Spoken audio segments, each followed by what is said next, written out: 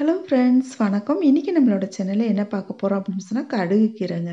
இந்த கடுகு கீரை சப்ஜி பண்ணலாம். அப்புறம் பார்த்தீங்கன்னு சொன்னால் பருப்பு போட்டு கூட்டு வைக்கலாம். அப்புறம் தக்காளி, வெங்காயம், பச்சை மிளகா, சீரகம் இது போட்டுட்டு கடைஞ்சாலே ரொம்பவே டேஸ்ட் அட்டகாசமாக இருக்குங்க. வாங்க இதை பற்றி பார்க்கலாம். இது வரைக்கும் நம்ம சேனல சப்ஸ்கிரைப் பண்ணலைன்னா சப்ஸ்கிரைப் பண்ணிக்கங்க. பெல் கிளிக் பண்ணிக்கங்க. இந்த கடுகு கீரை ரொம்பவே சுலபமாக முளைக்க வச்சிடலாங்க. ஒன்றுமே இல்லை கொஞ்ச நேரம் வந்துட்டு ஒரு இரண்டு மணி நேரத்துக்கு வந்துட்டு இந்த கடுக வந்துட்டு கொஞ்சமாக தண்ணி தெளித்து ஊற வச்சிடணுங்க.